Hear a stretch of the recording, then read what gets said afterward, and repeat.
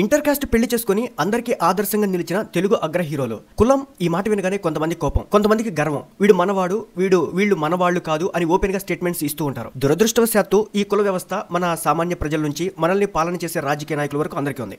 అయితే ఈ కుల వ్యవస్థతో పెళ్ళిళ్ళు కూడా మా కులం వాళ్ళనే చేసుకోవాలని తల్లిదండ్రులు చెప్తూ ఉంటే ప్రేమించి పెళ్ళి చేసుకునే వారు కొన్నిసార్లు ఫైట్ చేయక తప్పదు.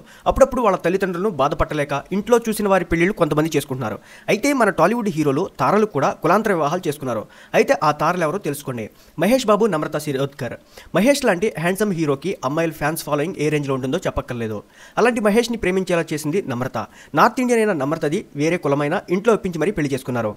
రామ్ చరణ్ ఉపాసన కామినేని. మెగాస్టార్ కొడుకుగా అప్పటికే సినిమాలో సూపర్ ఫామ్లో ఉన్న చరణ్ ఎవరిని పెళ్ళి చేసుకుంటారనేది అందరికీ ఉండేది. కానీ చరణ్ కూడా ప్రేమ వివాహానికి ప్రాధాన్యత ఇచ్చాడు. అది కూడా కులాంతర వివాహం చేసుకున్నాడు. తన చిన్ననాటి స్నేహితురాలైన ఉపాసన కామినేని పెళ్ళి చేసుకోవడం జరిగింది. అల్లు అర్జున్ స్నేహారెడ్డి. స్టైలిస్టర్ అల్లు అర్జున్ది కూడా ప్రేమ వివాహమే కులాంతర వివాహమే చేసుకున్నాడు. తన తండ్రిని ఒప్పించి మరీ స్నేహారెడ్డిని పెళ్ళి చేసుకుని ఇప్పుడు హ్యాపీగా ఉన్నాడు.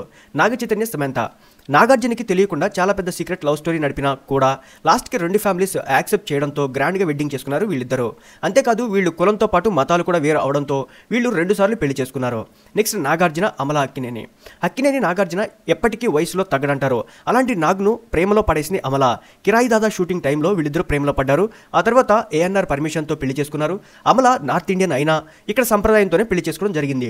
ఇక మంచు బ్రదర్స్ విషయానికి వస్తే మంచు విష్ణు అలాగే మంచు మనోజ్ ఇద్దరు కూడా కులాంతర వివాహం చేసుకున్నారు. చూడటానికి సీరియస్గా కనిపించే మోహన్ బాబు గారిని ఒప్పించి కూడా వీళ్ళు పెళ్ళి చేసుకోవడం జరిగింది. నెక్స్ట్ పూరి జగన్నాథ్ లావణ్య. దర్శకుడు పూరి జగన్నాథ్ ఎంత ఫాస్ట్గా సినిమాలు తీస్తారో అంతే వేగంగా నిర్ణయాలు తీసుకుంటారు. అలాంటి జగన్ ఒకరోజు షూటింగ్లో లావణ్య గారిని చూసి ప్రేమలో పడ్డారు. ఎవరికి తెలియకుండానే పెళ్ళి చేసుకుని ఇప్పుడు కుటుంబంతో ఉన్నారు. ఇక మణిరత్నం సుహాస్ని. సుహాస్ని మణిరత్నం తెలుగులో అప్పటికే టాప్ హీరోయిన్. అయితే మణిరత్నం గారిని ప్రేమించి పెళ్ళి చేసుకుంది.